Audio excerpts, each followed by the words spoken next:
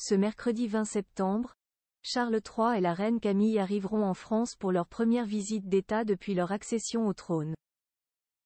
Pendant trois jours, les souverains britanniques honoreront des engagements à Paris mais aussi à Bordeaux, d'où ils reprendront l'avion pour Londres.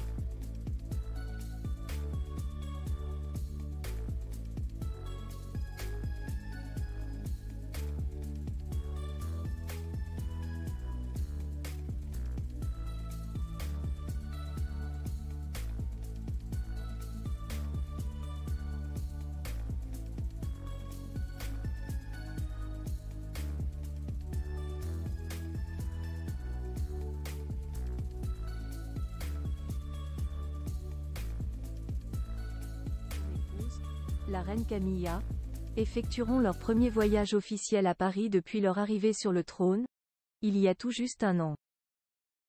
Francophile, le père des princes William et Harry n'a pas attendu de devenir roi pour découvrir le pays de cœur de sa mère.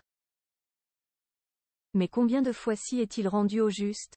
D'après Stéphane Bern, invité de C'est à vous le 4 septembre dernier et fin connaisseur des Windsor, le monarque septuagénaire serait venu en France plusieurs dizaines de fois.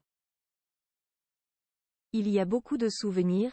C'est un homme qui a fait plus de 70 visites en France, avait affirmé l'expert du Gotha, avant de raconter quelques anecdotes amusantes sur ses rencontres avec Charles III. Je me souviens d'une fois où il était venu pour promouvoir les produits anglais et je lui avais dit que j'avais goûté à peu près tout. Il m'avait répondu, Oh je suis heureux de voir que vous avez survécu. Avec son humour britannique. C'était ainsi remémoré le présentateur de Secrets d'Histoire.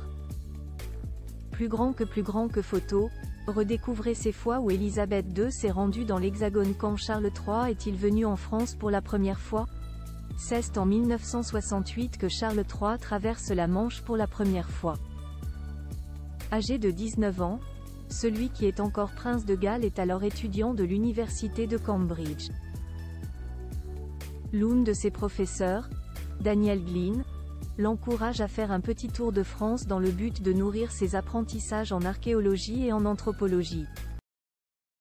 Le futur époux de Lady Diana visite ainsi la grotte de Fond de Gaume et le musée des Aisies, en Dordogne.